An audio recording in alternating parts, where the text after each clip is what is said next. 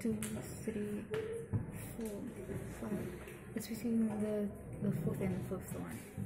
So how many lines down from 38? Um,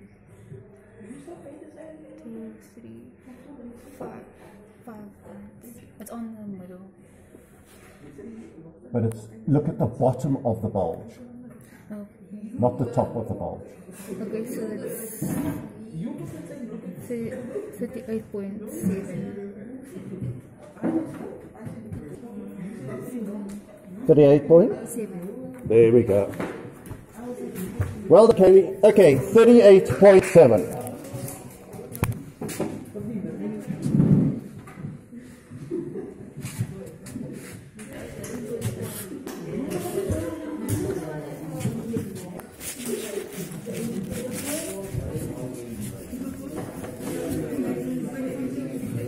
So the volume, volume is 38.7 milliliters.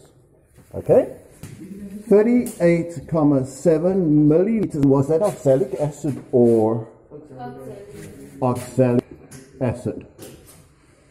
And we had 25 milliliters of sodium hydroxide. All happy with that? You've already got the concentration. Now, let me give you the formula.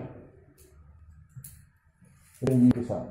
It's a bit complicated, but I know you'll cope with it. Here's the formula. Number of moles acid over number of moles base equals concentration times volume of acid over concentration of base times volume of base. That's your formula. You're going to work it out. Now, what are we going to try? Are we trying to find here?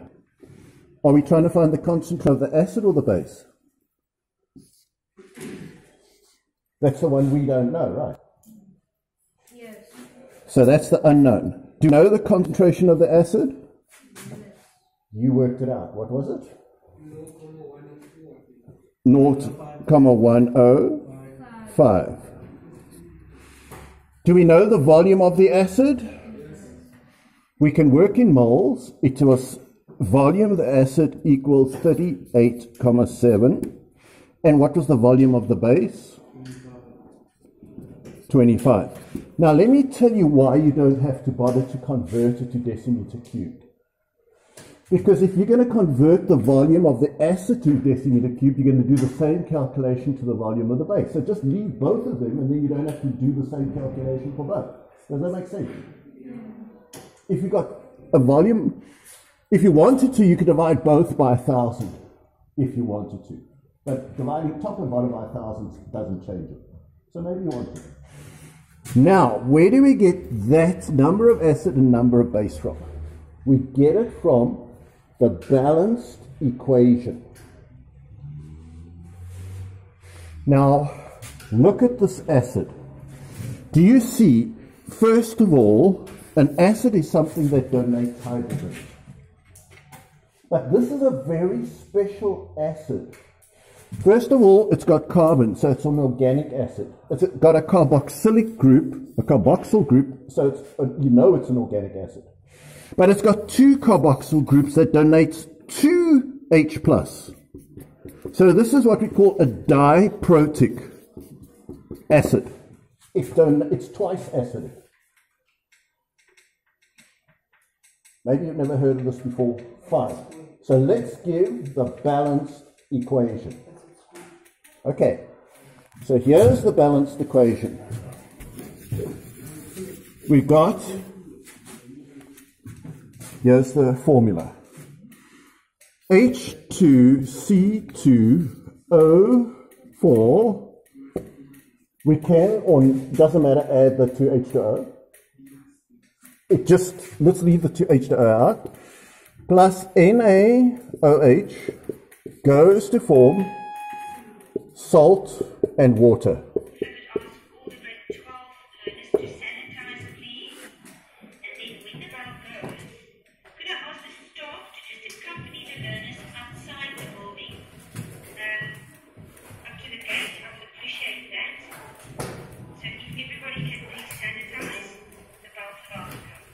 Okay, I'm going to have to rush this. Here's the salt. Those two hydrogens come off, and we need two of those.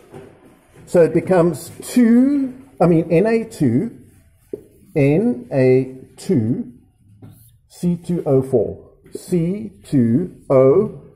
C2O4 plus two waters are formed. If you check it out, it should be balanced. There's the balanced reaction.